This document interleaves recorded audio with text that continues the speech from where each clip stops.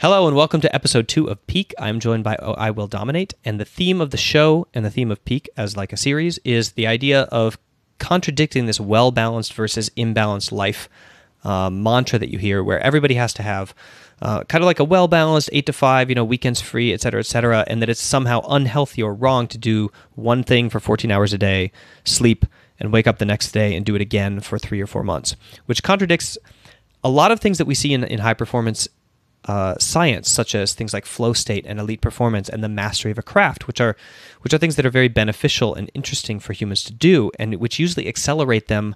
You would say beyond the average in other things that they undertake after they master a craft or a skill. And so Peak is is a series designed to like uncover this idea of what it looks like to all in on something in terms of an unimbalanced life and what skills you and transferable skills you get from that practice that you can bring elsewhere. And also to uncover performance frameworks because I've worked with over 100 professional players now, and to a T, all of them who've reached the elite level have had a performance framework that got them there. And it's been very interesting to kind of discover those on my own. And so I've been looking for other elite performers to kind of like do it in public and share with you. And I Will Dominate has agreed to join me today. So thank you. Yep. And welcome. Sounds good. Yeah, I'm excited. I want to see if I actually am the first out of the 100 players that you've worked with that does not have a performance framework. Yeah, that's so going to that's going to be it. It's like I don't know, man. okay. I just like uh logged into the game. Like, and... nah, just yeah, just smoked hella weed and just didn't play. You know, I don't know. I don't know what happened. How did I get here? I think everybody's going to tell me after this comment to to do uh, Forgiven. You know, because um, everybody's yeah. talking about how he just like goes to Greece and like sits on a beach for six months and then logs in and he's the best you know AD carry in the West or whatever. Um, shoot, I lost my internet for a second there. Uh, okay, I thought that was me for a sec. Nope. Probably my kids just found their iPads next door and uh, jumped on the Wi-Fi. Dear God. Nice. All right, so um, let's kick it off. Usually, the first question I start with is um, I'm trying to define where the mental shift occurred between when you were playing video games for entertainment purposes and when you realized that you were training a craft or training a sport or training in some way. So, when was the moment when you were like, kind of just like playing video games when it shifted for you mentally i mean mentally your identity where you were like okay I'm not doing this. I can tell you. Ex- yeah. I can tell you exactly Everybody when. Can. I can tell you exactly when. So, um, when I was 15, I started playing, or when I was 14, I started playing Dota. Um, and back then, like there was like a, a chat room. It was like a chat room, but it had a bot in it, and it was a network called TDA, which is called Team Dota All Stars, and it was just like random games. It was like public games that you would join, but um, these were actually filtered. Like before, you'd have people leaving and whatever. But in TDA, that was the first um, group where you'd actually get filtered out if you like left games, if you were like ridiculously toxic, whatever. They would actually kick you out.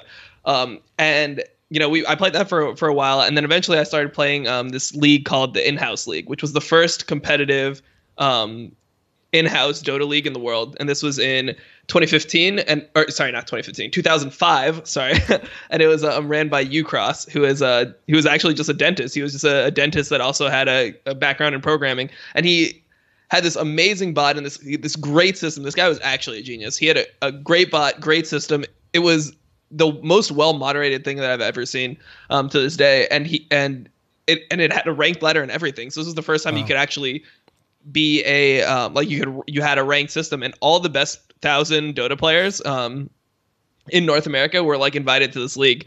Um, and yeah, you'd queue up th- for a game through the bot, and it would like assort teams based on MMR. It literally was like Riot's whole matchmaking, but in a like text bot in in, in a like channel an IRC Warcraft. Channel. Yeah. So. Um, oh, in the Warcraft client.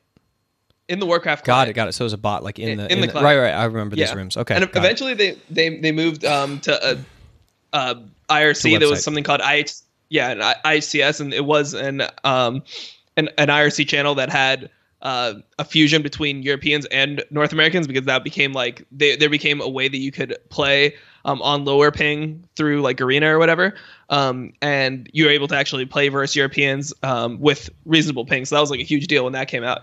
But um, yeah, essentially when I joined this league, I didn't really get vouched because I was very good. I was just like part of a group of like internet friends and they were good. So I got vouched in because one of the people I was friends with was like one of the best players um, in North America at that time. And when I joined the league, I was super bad. There was like a thousand, um, like 1,038 spots in the entire league, and I was like rank a thousand. You know, I was like one of the absolute worst players in the league, and I just been playing less time. What, than, what position people. were you playing, by the way? Do you remember? I play I played everything, but I, I eventually became hero? a carry. My favorite. I mean, I, I like Dota. The way it worked back then is everyone I, everyone played everything. Yeah. The things that I was best at eventually w- was actually jungling because jungling in Dota was more complex. Like mm, yeah. people didn't understand pulling like that. All, all, the, the things that are so standard now in Dota were like mind blowing, like groundbreaking ideas that came through. Like when when it became like, like you could pull the, the yeah, pulling the creeps to the jungle camps, and then like uh, champions like Beastmaster or like Chen, you'd eat tank, you'd like eat the trees, and then you'd pull like one wave from camp. To, so there was a skill involved with jungling, and not that many people would you know, get down all the timings. Like it was something that took a lot of practice to really perfect. And even back then, the aggro was like a little buggy. Sometimes things would de-aggro for no reason. Like it was just not a, a perfect um, thing. So yeah, like I, I ended up playing playing jungle for like teams and stuff like that, but I could really play everything. It was actually funny because over my career, I became just like in Dota, I was like a carry player at the beginning. Like I would I would be like the person sitting in the side lane, like farming, right. playing like Spectre or something like that, and then eventually join the team fight and try to one v five. Like that was my role. Um, because back then I was considered to have good mechanics, and then as I got older, I became more like a jungler. And then even as I progressed through League of Legends, at the beginning I was like a mechanical player, and I became more of a uh, like more of like a cerebral player. Yeah, l- later on in my career, but when I was 15, there was a point where I started like I really just back then like shit talk was brutal you know like people would be like i was i was like 14 15 and I, my voice anything. was still super high. Yeah. Yeah people would so everyone was just like oh you what are you like some little faggot? Like all this shit like they would just they would just go in on you. Like is that a girl? Like all this shit you know like just the worst shit like you like kill yourself you little like piece of shit. Like it was just it was so, it was like, like when the, xbox the when xbox live came out and all of a sudden yeah, all the halo was, players could could like yeah, talk to each other. Insane. it was like nuts. yeah people, like n words flying all over like yeah, it was it was it was crazy. Um, and even though there was like some toxicity moderation, it, it wasn't like yeah, it, it wasn't anything like Riot's toxicity moderation, which is like pretty strict by the standards that um, were set a long time ago yeah. in, in online gaming. So um, yeah, I just wanted to be like really good to just beat all these players. And I remember just like starting grinding and I was just I wanted to be rank 1 so fucking bad in this in this league. On on this just bot like it wasn't even you didn't get anything if you were rank How, one. So it wasn't like it was. what is the first thing that you modified? Like when you hit that moment and you were like, okay, I want to get rank one. I assume that you like you stopped giving in to certain like practices or tendencies or habits or whatever that you had and you started doing like something else so you started like you stopped like giving into a certain emotion and you started doing something else like what what was the what was the sh- um, what was the um, shift in behavior that your shift in identity actually triggered like that kicked off the climb uh, for me, I think the main thing was just being like super, super like self-critical of like everything mm and just being like um, really analytical about what champions actually could do. Like try to figure out like different combos, like try to understand the meta game, like literally everything that I could think of, I would try to improve on. I'm like, okay, this person's better than me in mechanics. Like, how do I become me- mechanically better? What do I do? Like, how does he combo? like how does he line up his spells like how does he angle his skill shots when does he throw them things like that things that are pretty obvious in league now like in dota that, that was the first game like that so people have to figure all that stuff so out what, like what i see is like this shift where like you essentially are saying like you you you allow yourself to criticize your own skill set and don't assume that you are like good at something yeah no I, I i knew i was was really bad but i just like like back then i mean it was just on the reg letter i just knew statistically i was really bad but um yeah, to to get better, I like it, it, there was so many different avenues to get better that I just tried to get better at like literally yeah, everything. Right, yeah. So I would. So you had a like, ladder, like you had a ladder to like basically say like that you were trash. You didn't have to. You didn't have to yeah. like mentally go there. Okay. Yeah, but but it was okay for me because I knew that I'd played less time than the other people, so I didn't feel like super bad about it. I wasn't like, damn, I'm like just like stupid or something. I'm like, yeah, well, all these people have played so much more than me. I've been playing like three or four months. Of course, I'm not going to be. You were like, like I'm relatively good compared to the time investment. Yeah, for the, I, I felt so like could, yeah, that, that's that's exactly. You could hold that cockiness like was, there as your ambition. Yeah, and and also just I don't know, like growing up. I mean, I think I had good parenting. I had like decently high self esteem, so I was like, oh, you can be like good at anything you put your mind to, type thing. Like I actually believed that, right? So I was like, okay, I'm gonna put my mind to this, and I actually want to be super good. So I mean, I I would like pretend I was sick, take days off school, like do anything to just play as many games as possible. And yeah, I mean when I when I did hit rank one, I had the most games played out of everyone in the league too. So like I was just and, and I was going to school like I was a high school kid, so I was really. And you actually went to college, so you must not have failed out of high school or anything.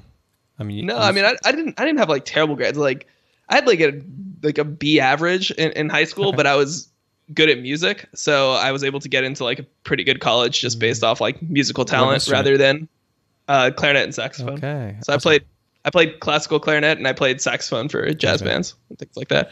And I guess something that was useful was like in in um, like jazz bands, there are pieces that do incorporate clarinet, but a clarinet isn't like a standard instrument within a jazz band. Absolutely. So sometimes like like there's um yeah there's a bunch of uh pieces where there would be a clarinet solo, but you like they would have to just you know have somebody play it on soprano sax or something that wasn't quite right. So I think that that was one of my advantages since I did play two oh. instruments. I could like fall back to the clarinet. I could do like a clarinet solo, um, which I guess jazz teachers really liked abusing. So you could you could like earn a chair in a jazz band that like with that asset basically. They'd say like, okay, well we want the guy at least who can yeah. pull out the clarinet for this whole. Awesome. Yeah, yeah. So it was it was good. Um, so that's that's pretty much how I got into college. Like I didn't have the, the grade requirement to get to uni- get into University of Miami at the time was 3.5. I had like a 2.9. So I did not have a very high GPA. I had like B minus. Well, those things are suggestions but, anyway. I mean, I didn't meet I didn't meet my university one either. Um, but uh, yeah, but I had pretty good SAT score stuff, and yeah. just played music. So yeah. All right, so that was that was the moment. The next question I ask usually refers to trying to understand your support structure, and this is going to be a little different for you because you're not a pro right now. So I'm curious both. Mm-hmm. What is your support structure now as an entertainment business performer? So you're a performer, right? But you're a performer in terms of entertainment and business, and you have to have high performance in business to succeed in business. That's true, um, but it's not a mm-hmm. zero sum game like competing, where like there's a winner and a loser. Period. Yeah. Like everybody in business can make money. There's kind of enough of it to go around at some point. Um, mm-hmm. And then I want to talk about what it looked like when you were competing. Maybe we, we can do that first. But let me explain, first of all, the kind of three pillars I'm going to look for. Uh, and this isn't based on any science or anything, it's based more on my experience of, of other people and understanding elite performance. But basically, I'm looking for three things. Number one, describe to me your relationship with your peer group. So, as a like journey partners, the people who are like in it with you, and, and these are the people that have you have very short term relationships with. Because when you go to another team or you go to somebody else or you go to like a different group or whatever, you kind of like leave them behind and you join new ones. So how did mm-hmm. you see or, or, and how motivating and supportive and, and how did you relate with your journey partners as you were going along? And then the second one is your cheerleaders. So these are people who like you regardless of whether you win or lose, right? They like they like uh shoot, is it Christian or Christian?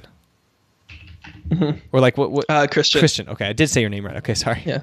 I always try to check that mm-hmm. before before the uh, mm-hmm. the uh, sessions. But anyway, the people who like Christian, like, and have nothing to do with anything mm-hmm. else, right? And whether you win or you lose, like, they're gonna like you. Period. Um, so mm-hmm. they're like your cheerleaders, and usually that's family members. It can be other people too. Yeah. Um, and then yeah. mentors. So these are people who they don't necessarily have to walk the same path as you, but like they help you walk your path by giving you perspective in the long term.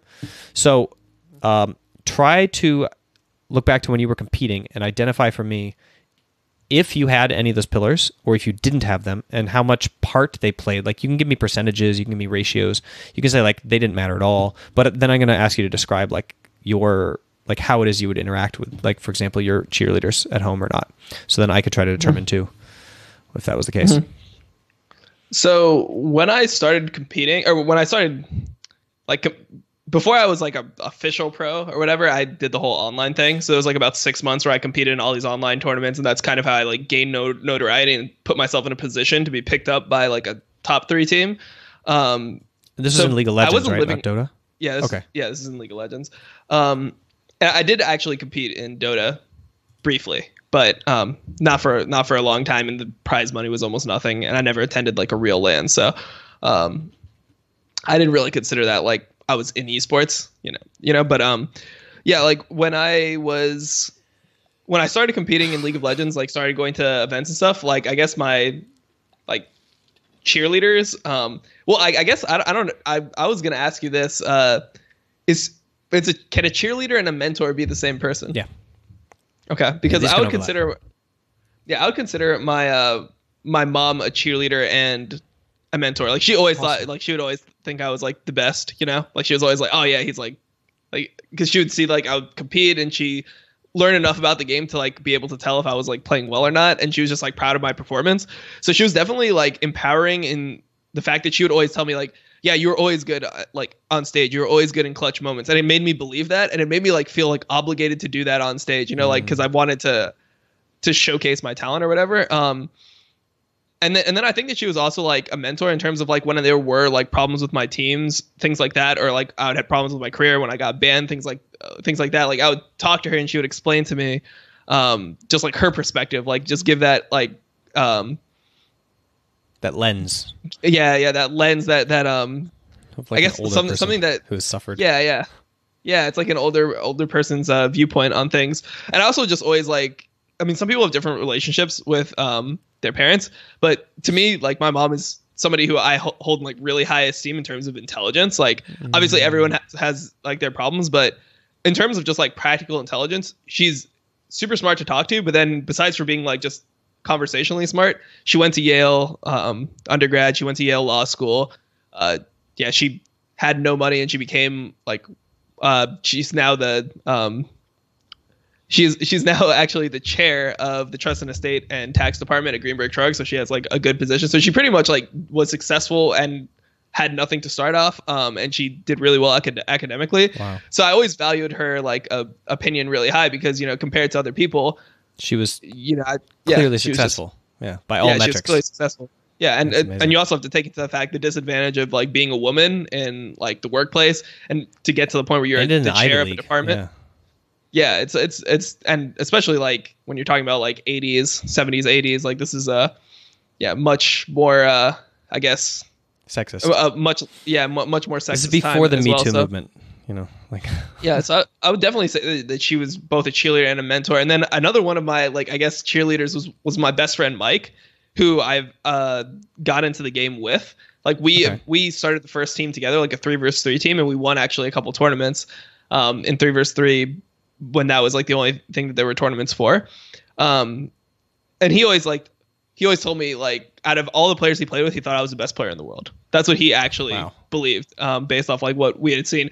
And you know, it made me it made me believe it, and it made me feel like I could just yeah get to the top. And I mean, there was at like I guess the peak, um, like Hanover or whatever. I mean, that was the best tournament that happened at the time. We got second, so it was probably pretty close at that time. So I, I guess that was another thing that just empowered me. I, I think I had a lot of people in my corner just believing in me, just being like, yeah, you can do it. Yeah, you can. And then you the got the results it, with that Hanover. Yeah, and you're like, yeah, oh my gosh, so, like it, they're right. It could actually happen. Yeah, yeah, it could actually happen. Like I could actually, you know, be proud. And then obviously, like when Koreans started taking over, I'm like, okay, best player in the world. That's probably Faker, but like you know, I always felt like I was good at least. So didn't that um, in that infamous video that came out? Didn't they have the clip where you were just like, I am Faker? Yeah, screaming. that was actually like that was actually like like two weeks ago or like a month ago. Oh, really? Was, okay, there you go. Yeah, yeah, that's that was that was a recent clip. So it's, but, it's um, still there. You're still aiming for it. No, I mean I was just, I was just playing it up for the stream, but it, it was a pretty sick pillar. I, I, will say that I was pretty hyped off that pillar. So yeah, I mean I yeah I mean I, I just I'm easily excitable, obviously, but so uh, that would be like cheerleader and mentor. What's the third pillar? Uh, peer like your peer group or your journey partners. So in oh, educational research, yeah, yeah, like uh, this this is like the largest factor for success um, for like academic results. Basically, more than mm-hmm. parenting and teaching actually uh, is the peer group. So like if you have a good peer group, like the the correlation with like getting into Ivy League schools and and and like success in the workplace and income and like social uh, socioeconomic status, like it's just mapped to peer group more causally than like almost any other variable in terms of like academic mm-hmm. success. So of course in sport we think like maybe this could be the case too in high performance. So I'm just curious, like mm-hmm. with your journey partners and your peer groups, like did you have relationships?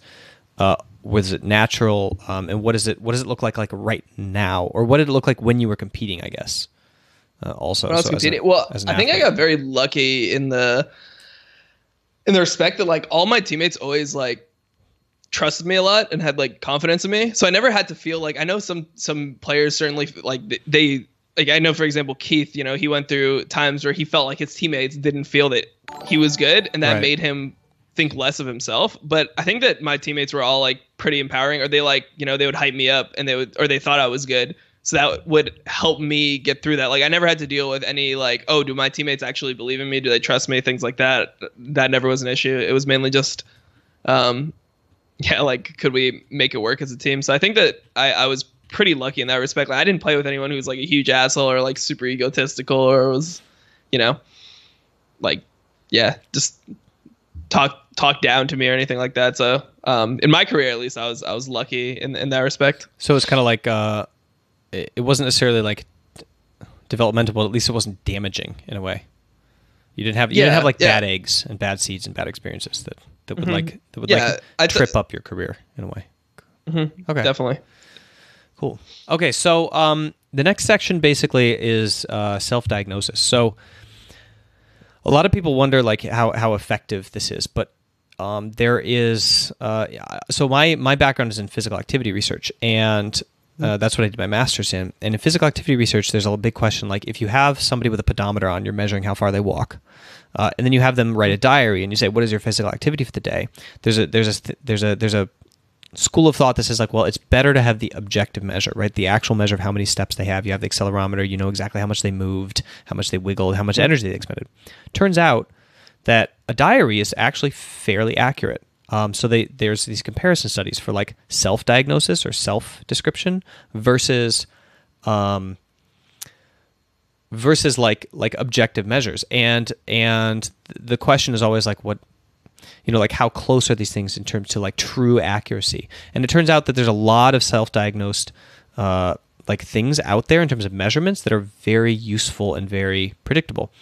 In my experience, pros, so pro players who have gotten to the top and who are elite performers, are quite good at saying what their strengths and weaknesses are, um, because in an objective thing like sport, there's just no arguing with it. Like it's just like you just have to know that this is your weakness and this is your strength because mm-hmm. you lose and you win. There's like there's like always mm-hmm. a metric that's telling you uh, this is the re- this is reality. This is reality. This is reality. This is reality, and you you just have to accept it. Mm-hmm. So that is why uh, I go in with this like basically you tell me what I should know for my job, right? Which is what what would you put in your category as mental strengths the things that got you to where you were as a pro that allowed you to become pro when there's thousands millions of people who train the same amount of hours mm-hmm. as you and never make it out of gold and then consequentially or like not consequentially that's the wrong word the opposite whatever what are your mm-hmm. um, what are your weaknesses that you feel like uh, that you have either overcome or that you have overcome to the point where they're like they don't hamper you or that still exist and, and you think like do uh, that either yeah that just like interfere with what you're trying to do. Hmm. Um. So you so the strengths first and then the weaknesses, or the weaknesses first, or how do you want to do it? I mean, just whatever triggers in your mind first that you want to talk okay. about. Like, so when when I when I started competing, I think the thing that gave me the advantage, at least, um, if we're talking about like actual competition and um, like on stage, I always felt like I was more willing to like go for plays than other junglers. I don't know how it is now because I feel like that this has kind of been weeded out over time. But I remember um like when I played, there were some players that like I could tell in like a big match they just wouldn't gank. You know, they would just make the safe play every time. Like you could always kind of default to like the okay, I'm gonna clear my camps and then deep ward and then go back and clear my camps. Like you can default into that mindset instead of being like, okay, I think this guy is killable. I'm going to like try to I'm going to do something that might be slightly inefficient in terms of pathing, but I think that this play will work and like commit to the play. So I think that was probably my biggest strength as a player. Like I would just make shit happen at LCS where players that could be higher solo queue rated than me or something like that, like technically they might be like better mechanical players. They just wouldn't attempt to gank as much as I would, or they wouldn't attempt to make plays. Um, would, so I think would that you see these same players in scrims able to make plays, and then they would go on stage, and you would yeah, know definitely. that they wouldn't? Yeah. I wouldn't know that they wouldn't, but they just wouldn't. Right. Like, I wouldn't go into a game and like disrespect them and be like, "Oh, this guy just won't gank because he's like a pussy or something." You know, like I, that, that wouldn't be my mindset. But when when we, we played the game, like I would rewatch the the replay. You know, I'd re- rewatch all the games and I'd be like, "Why is this guy not ganking here? Or like, why why is this guy recalling here?" Like, you could tell that their nerves were making them do things that were like overly passive. Mm-hmm. Um, and I think that I was pretty decent at being like, this is like the paths that I took in scrims that worked out. Like these are like the ideas that I have. These are this is my my knowledge of the matchups. I'm going like if something seems right to me, I would just do it if it seemed right, and I wouldn't get in my own head and be like, oh, what happens if I get counter ganked? And where, where does the basis for this ability to handle pressure on stage and, and this fearlessness, like where, where's the basis for that strength? Is it is it in your musical career or a combination of that yeah. and your parenting? Yep. Mm-hmm. Yeah, I think it's parenting and then my musical career. Like, because that was the first time I actually got nervous before, you know? Like in, in my life, the first time that I really got nervous was when I, um, you know, had to play music in front of a lot of people, right? right. Like I had to perform a, specifically not when I was in groups, right? Because you like if you're in a group and you mess up like in a band, it's not really super noticeable, and it's not like oh shit, it's if your fault. Clarinet, but it's, it's no. One, yeah. If you're trumpet or yeah. timpani, maybe like. yeah, may, maybe, but um, when I started having like solos, like in, in high school and like the end of middle school, I started kind of being like a standout um performer in terms of music. Like that was just my thing. I cared about it more than the other kids in my school. Mm-hmm. You know, I went to like a musical like school. Um, in, in the summer, I took like a summer program at a musical school called Interlochen, which is like one of the, um, it's in Michigan. It's one of the best musical schools. So that it was just like something that I really committed okay. to, and I started um, getting a lot of solos, right? And when I had solos, you know, you're mic'd up, like you you you have to stand up. No, number one, like everyone else is sitting down, you stand up, and you're you you know you're mic'd up, all the attention's on you, the spotlight's on you, whatever. That's like when I was first like shit. If I fuck up, everyone is gonna hear it, and everyone's gonna think that I'm terrible. So that was the first time I got nervous, and I think that you know I did have uh, like bad performances before, or like performances that weren't up to like my standard. I never had like a crash and burn where I like couldn't play or I couldn't finish, but you know I would have maybe I would have a squeak, or I would miss a note, or uh-huh. like you know the timing of it or the rhythm of it would be would be off slightly. I think having those experiences made me like comfortable playing on in, stage. In those experiences, so in the progression of you from your very first solo to like these these these like uh, this like series of solos that you're kind of describing in your history at what point did you like when does the joy come in for you so would it be like after you would finish it and you would like enjoy yeah. the feeling of doing it would it happen during the performance even at some point was it the anticipation did you enjoy that part like what for you is really the part that no lit you uh, for, for me what was really gratifying was like when the people that like practiced with me and like knew my level. Like, you know, for example, like when I was home, my mom would hear me play the solo a million times.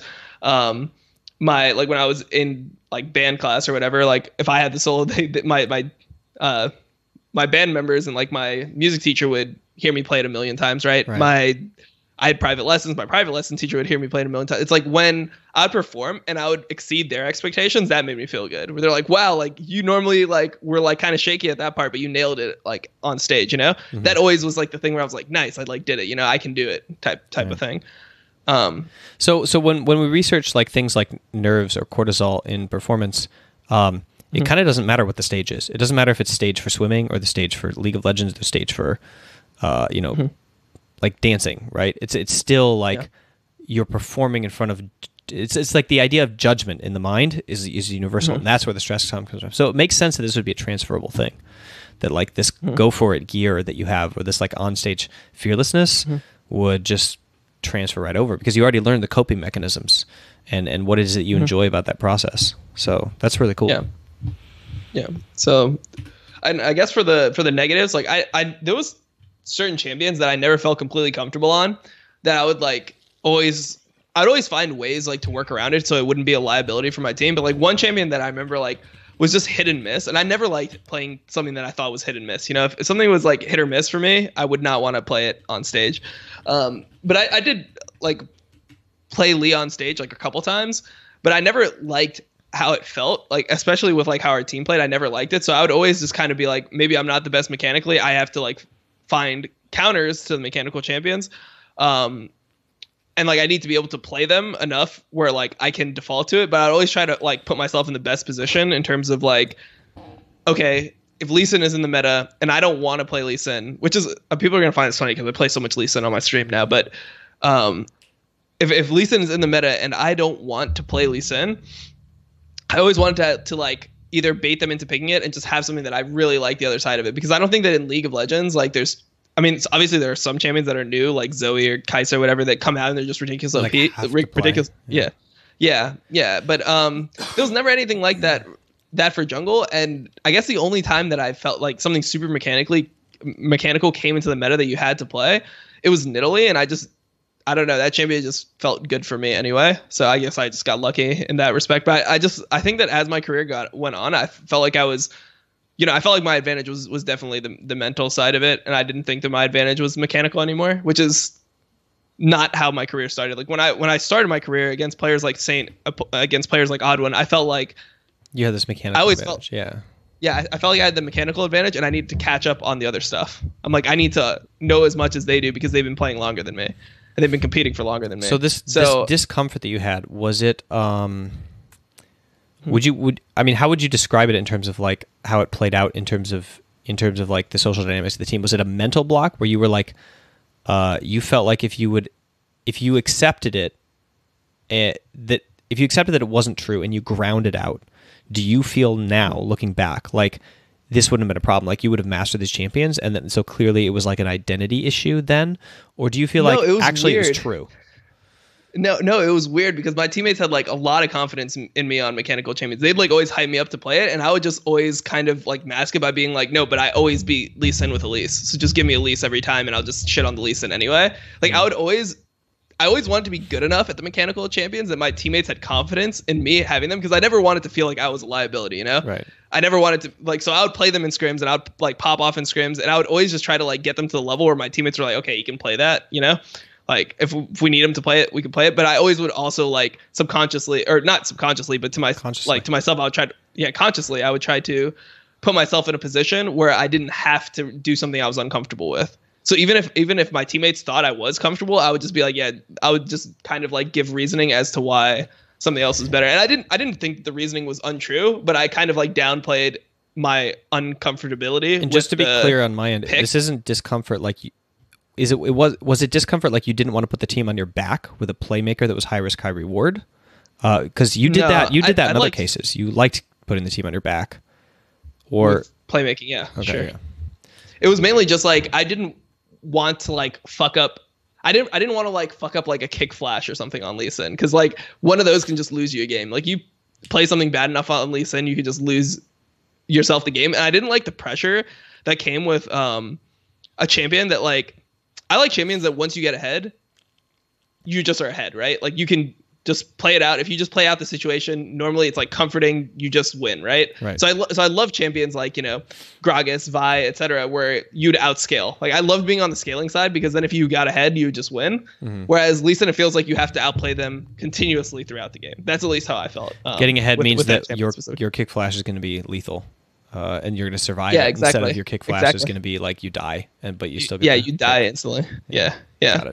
so um, but you still got you're still the initiator, so you got to kick flash them. Yep. Got it. Yep. Yep. That was my mentality. Okay. Um, how do you learn new skills? And so this is kind of like the final question that that I that I go through. Normally, because you know my first sessions with players are like an, limited to an hour, so we just can't get into it, you know, very much more. Mm-hmm. But when I say how do you learn new skills, I mean you have something that you want to pick up. Do you are you aware of your system? And if you're not aware of your system, what are the behaviors or habits that you think that you do that that that like gets you to pick up new skills? And I mean, and I don't mean like like paltry skills. I mean like to to the to be able to play at the elite level, right? Like how do you bring something mm-hmm. up to to standard as far as like what you would play on stage as a performer? Mm-hmm. Um. Well, the first thing that I like normally the way it works is you don't like come up with everything by yourself. I mean, there were definitely champion picks that I started in NA, but there was also champion picks that I didn't start in NA. And like when I would have to pick something up, like if I knew I had to get better at something, it would always be because I saw somebody else do it and I like saw the potential in it, right? Mm-hmm. So I would try to just um yeah, I would just do basic things like watch watch somebody else play. I would just like take the replay and I'd watch it from their side. Find a model. Or I would um yeah, I would, I would definitely find a model and do all that stuff. Like when I was in season five, one of the huge thing was LPL private streams. Not not many people abuse that, but there was private streams of every single player's perspective that played in LPL for the whole 2015 season. So Peter, who is my coach, who is also Chinese, he could get me all the private streams because like the site is impossible to navigate, you know, um, right. if you don't know Chinese.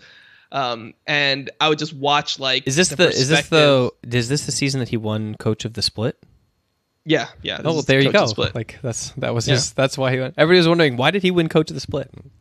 Apparently he was. Uh, I mean, essentially, because we got first place. Right. We yeah. got first place in the regular season, and then whoever gets first place normally gets coach of the split. That's like generally how it goes. Or if you have like a really bad roster and your team overperforms, or like yeah, something like that. You know, then you get coach of the split. Like for example, with Ssong and Immortals, everyone thought that roster was going to be terrible, and then when they started winning, it's like okay, you get it. But um, yeah, I would watch like uh private streams a lot. Um, and I would just like yeah, just try to figure out like what people were doing, like how they're like what their mentality was, and then I would try to like view it as okay, you can learn something from every single player's perspective. Even if uh, even if I thought a player was like terrible, right? Like even if there was an LCS jungler that was like a 10th place jungler, if they were playing a pick, like I could tell if they knew something about it down. that I didn't. So I, so I would watch a VOD of them play, and I would just try to take in like every little thing that they did, like in terms of just like I, I would actually like write down um what their path was. Like so I would just be like, so how many camps did they clear and like I would think about like the jungle matchup and just try to find reasoning as to why they played it like that, and then see. So you if, look like, at their decisions,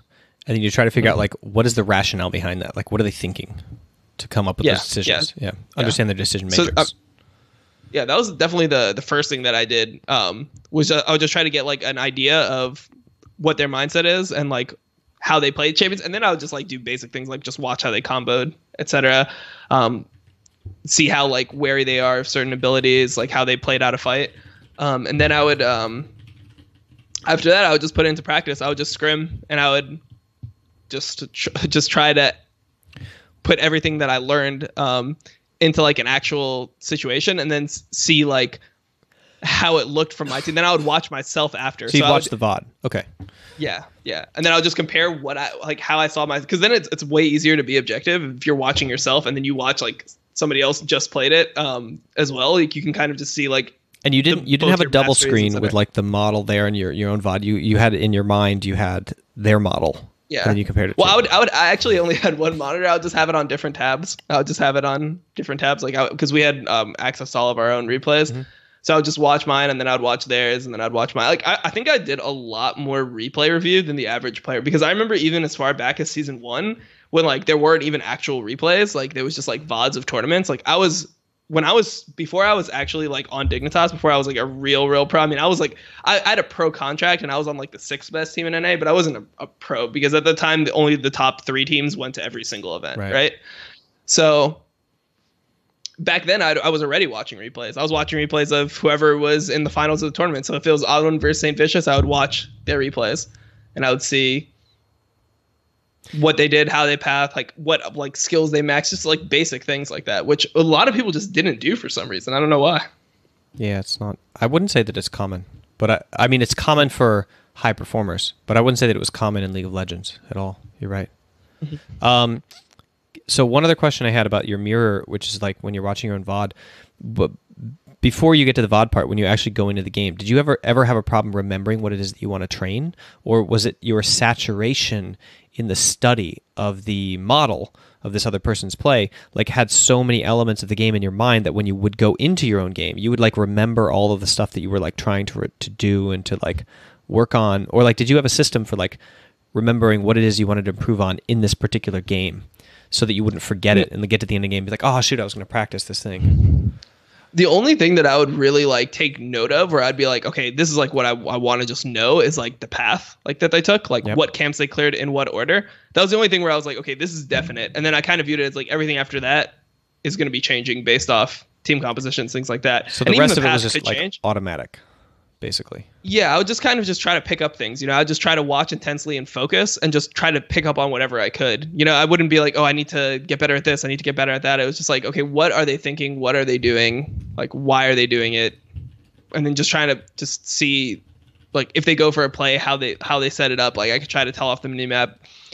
Is he like doing this because of wave pressure? Like, how how early is he deciding that he's gonna make make this play? Like those types right, of things. Right. I would just try to um and I would just try to like put myself in their shoes and like pause. I would pause it and then I would look at the map and I'd be like, okay, if I was here and I had this information, like what would I actually do? And I would try to think what I would actually do without before before I would actually watch the result. So like when I if I knew there was like a situation where it's like okay, camps are down, I'd press spacebar and I would look at the map and I'd be like, so what what would I do? Like, and I would think like okay, I would pink ward the pixel brush and then I would walk in, get a deep ward on Raptors, and then I would look top, see if there's a potential dive. If not, I would back off, recall, and then go bot side again. Like I would try to tell, I would try to ask myself what I would do, and then see how they like played out the situation as well. During um, so this is during the replay watching their replays. Mm-hmm. Yeah, yeah, during their replay so, watching. So this is this is a question I get a lot actually in, in the Q and A show is like how do we, how do you remember mm-hmm. what to do in game? And basically this is the answer.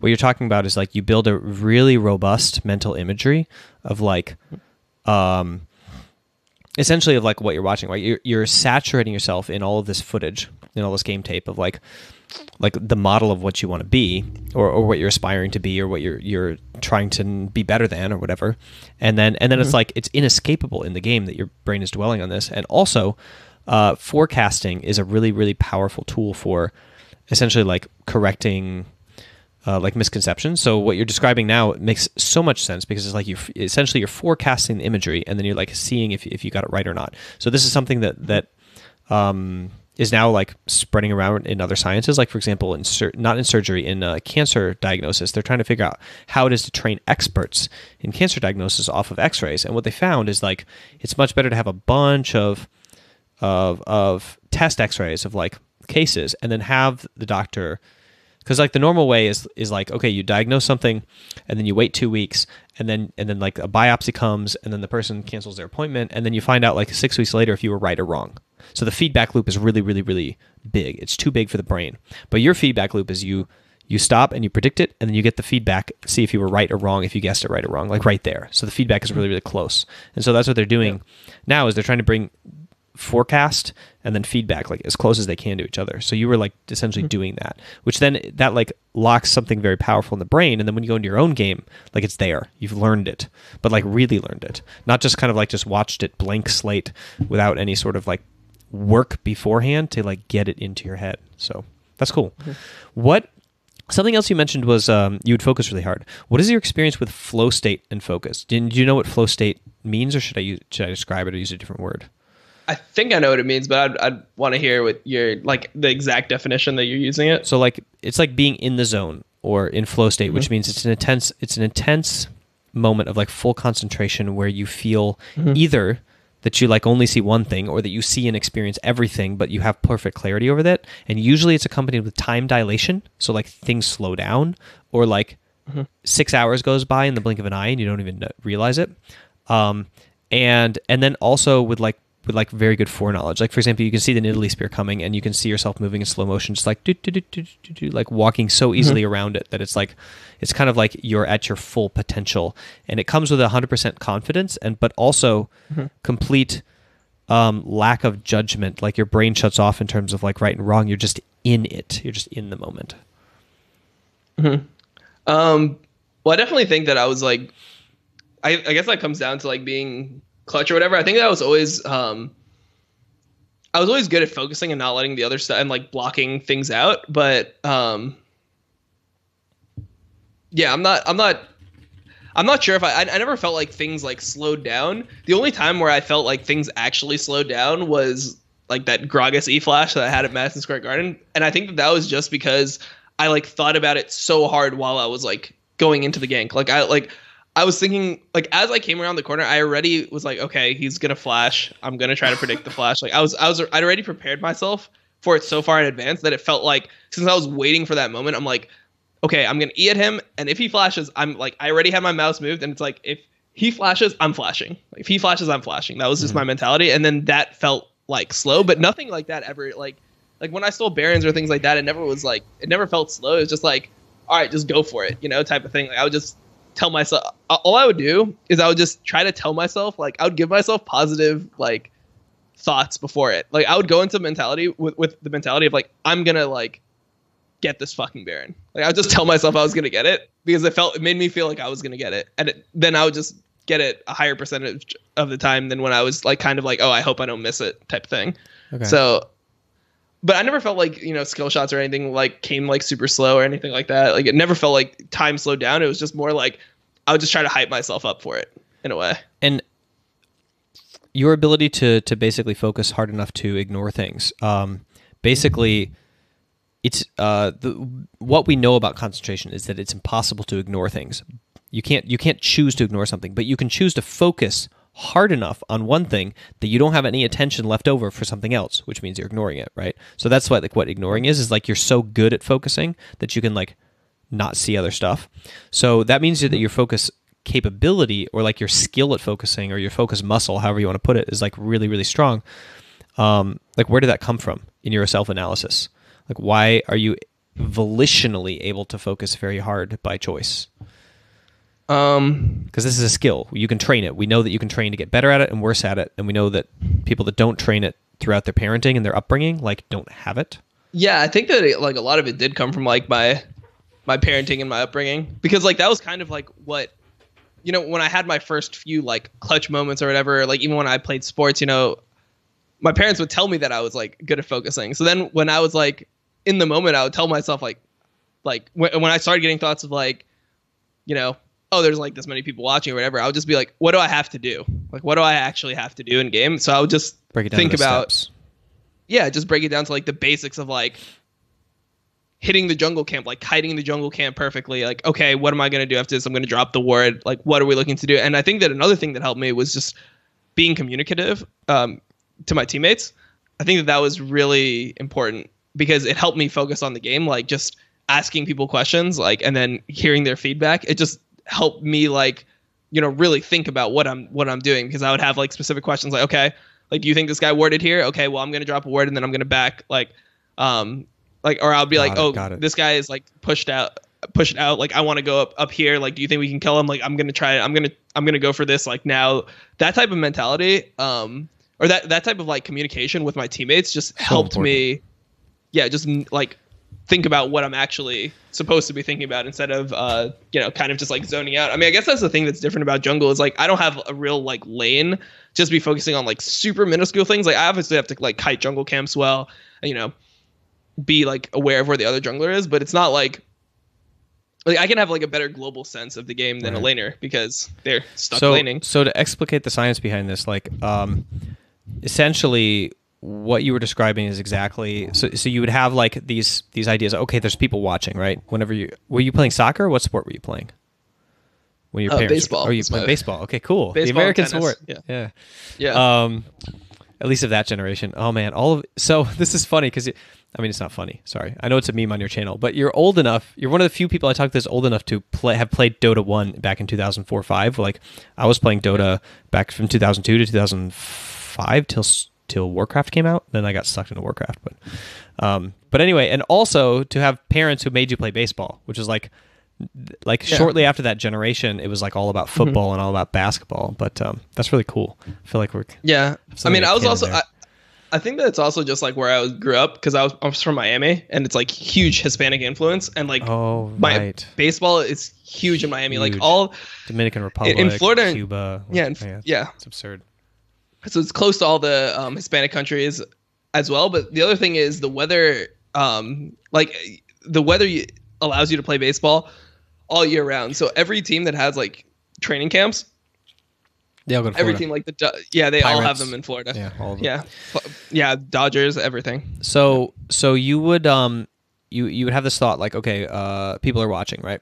And then so but mm-hmm. this is basically a future thought. This is a uh, judgmental thought about like a potential future, right? It's not even about a real future. So, because, well, obviously, because there's no real future, but it's about a potential future. And then you would say, like, okay, what do I have to do? And that's bra- dragging your brain back to the present moment. And the other tools that we use to do this in mindfulness training are breath and communication, right? Because you can only ever have a conversation in the present moment. Like, it's impossible to have a conversation with somebody uh, if you're really engaged in the conversation. If I'm focusing on what you're saying and listening, that's not in the past or the future. Like it's only now. So if you're communicating with teammates, that's one of the like surefire ways that like for example, I train other teams to get themselves out of the past and the stupid mistake they just made or whatever and back into the present and like focusing on the game. So these yeah, are two like, like really next?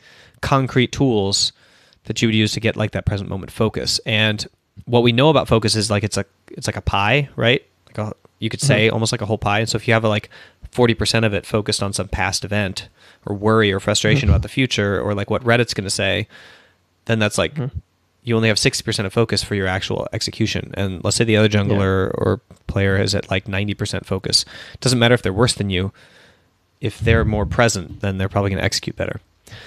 Mm-hmm. Um, okay, that's really that's really interesting. And the other thing you mentioned there along the lines that I heard was like self talk, where you said you would self talk yourself in terms of positive psychology.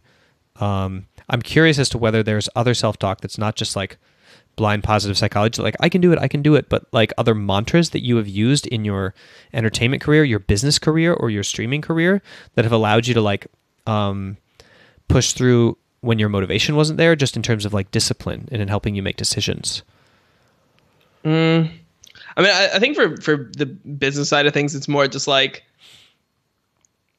thinking about like what you've worked for and like just understanding how streaming does snowball, right? Like to get to the point where I was making well however much a month um, that I'm making now, like to get to that point, I needed to uh, like put in work, right? And every day you don't stream, you lose subs. Every every time you like have a bad stream, you probably like lose viewers.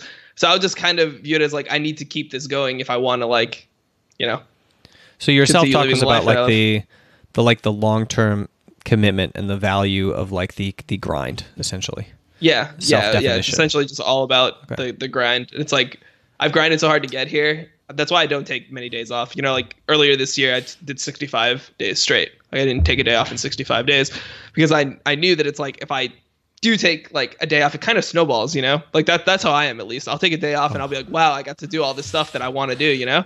And it's like fun, you know, and you're like, oh wow, I wish I had like another day I could do that. And then the next day it's like harder to turn on the stream and after a while it's just like you're you're not even streaming anymore. That's how you end up in like a three week break like Tyler1, where you try to get challenger for like for like a month straight. It's just it just feels good after a while to like, oh, I don't have any commitments, I don't have to do anything. So I try to like keep myself away from that because I, I know how I respond to it. Like I respond very like, like yeah, I mean I enjoy like that that thing, and I think that that was kind of what was good um, about the pro life is you do have like you know you have like at least like a break you know every now and then like where it's like oh you might have I mean let's say you go to Worlds or something maybe it's less maybe it's only like ten days or something, but um like we never like normally our seasons we would end in like September and we wouldn't have to like start scrimming again until like mid November, you know. So we actually did have a break where I could do what I wanted, you know. And that seasonal um, that seasonality of like life is actually really I think in sport really healthy because you can go like a hundred percent all in and then you can go a mm-hmm. hundred percent all out. Do you try to mimic that in your like your approach to streaming and business as well? Or are you just um, like 100% all in and you're just going to be like, this is my next seven years and I'll go all out like when I yeah when I'm done with that. That's or? pretty much how it is. I mean, it's essentially the way I, what happened is I just started like making enough money where I was like, wow, if I like do this for like seven eight years, I'll literally be able to live off the like returns of my money in the in the market, you know. So I'm just at this point I'm just like, okay, even if I feel like not doing something, like I'm just gonna grind it for right now because I can set like everything up with this. Yeah. You know, like this is this this can and the value overrides any sort of like meandering emotion of the day and stuff like that. That yeah, like, exactly, exactly. Like guiding star.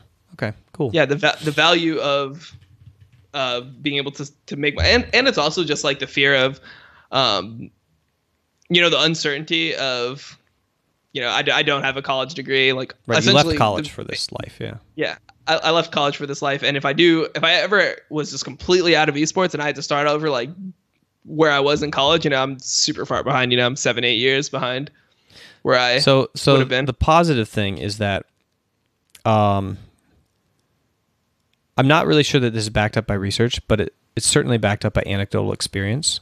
Um, both with, mm-hmm. both with myself and other like high performance trainers in sport, that elite performers often um, so so they miss out on a lot of different experiences of their peer group, right? If you look at the like the people who are just like kind of in standard lives versus people who veer off into like elite performance lives, um, mm-hmm.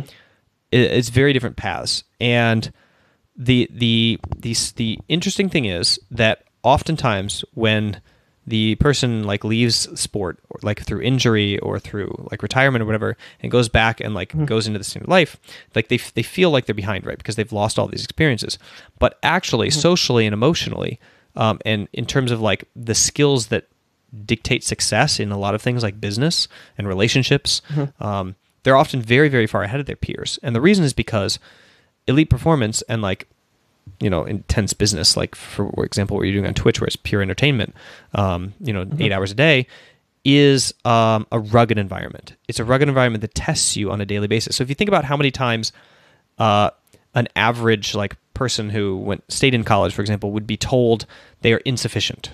They're an insufficient human at this moment for the task at hand. It's like maybe a couple mm-hmm. times a year, a couple times a month, mm-hmm. like maybe once a semester, you know. But like mm-hmm. In in League of Legends or in sport, you can be told six times a day. Or like even within those games within those scrims you can be told every five minutes that like you are insufficient. You are not up to this task. And and it's like you're faced with this reality of who you are over and over and over again and you just you have two choices. You break or you accept it.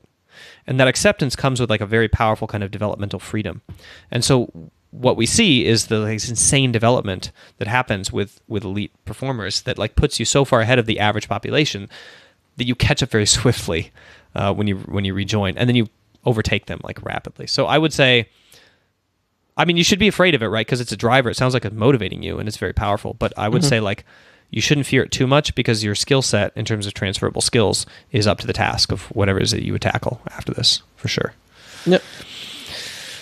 Um, I probably could Hopefully. have DM'd that to you instead of like saying it on stream. But anyway, I wanted to tell everybody in the audience fine. as well so that they understand what's going on here. But, yeah, okay. for all the elite performers in the exactly in the audience, they can apply uh, it to themselves.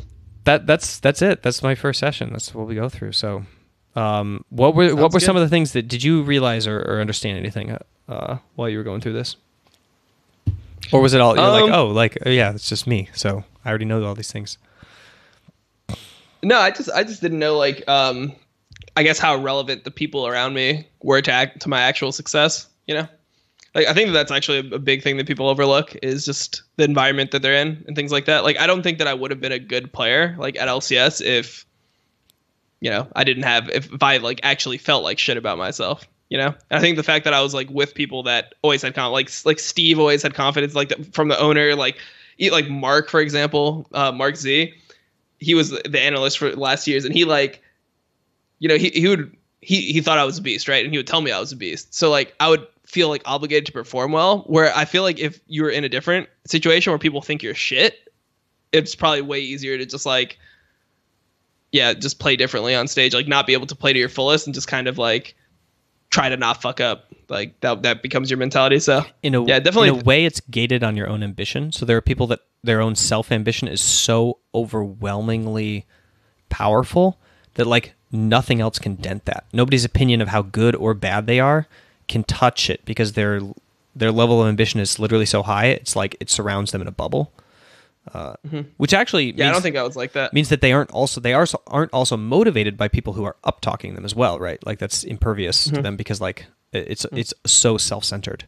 Um, so that's the case, but but otherwise, like it's very very very important. I think in th- this is actually um, I think a new. I don't want to say a new field of research, but I was reading some new articles on it that, that make me think that like maybe support network research is like booming again because um, uh, I was looking at uh, uh, what's it called? Growth through through stress. So stress related growth. That's what it was. Stress related growth. S R G. Um, and uh, and in stress related growth, they, they they were developing a model. So it was new research, right? This is a, this is a new research where it's like typically uh, anxiety is seen as a bad thing. Um, but we know in, in sport that anxiety is actually a developmental factor, that it's like a good thing, that anxiety helps us grow faster and better than other people. So how could it be a bad thing mm-hmm. all the time? Right? Maybe high anxiety is bad, but like normal anxiety, without that, there's no growth. Or at least I think there's no growth. Mm-hmm. This is a personal opinion. But there are people who are trying to prove it, anxiety related growth, that like it's a good thing. And in the model, what they found um, when they were when they were testing the model was that support the support network was so important that it ended up being the the most and the only causal factor to determine whether or not whether or not people achieved growth through anxiety through a stressful moment or did not achieve mm-hmm. growth. It was like the one kind of factor that mediated it one way or the other. Mm-hmm. So I would say like it could be, and this isn't proven yet, obviously, because there was only like two studies on this when I when I last checked. But it could be in the future that it's like really clear that support network is or or your support mm-hmm. structure is like the defining factor of success as you and so the more stress you can handle and put through your support network the better and faster you grow. Yep. Okay. Sounds thanks. Good. um i'm gonna hit stop recording now